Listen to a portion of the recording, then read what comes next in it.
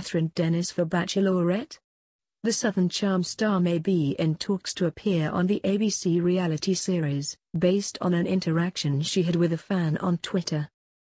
The Bravo star responded to a fan who asked if she would ever consider being on The Bachelorette last week with a cryptic answer. Actually I'm kind of in talks about it, the 25-year-old wrote.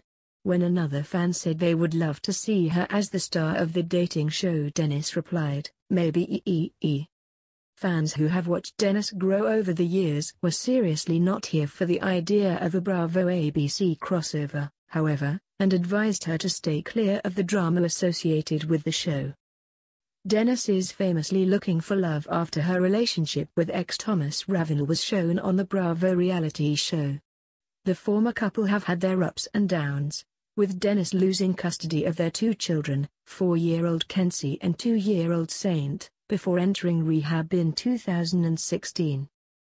Now sober, Dennis recently announced she had received 50-50 custody of her children and repaired her co-parenting relationship with Ravenel. I think she has really stepped up as a mum, Ravenel said during the most recent season of Southern Charm. It's been amazing watching that transformation, and I'm proud of her. Dennis' relationship with her ex's new girlfriend, Ashley Jacobs, has not been so civil, with the season focusing largely on the drama between the two women.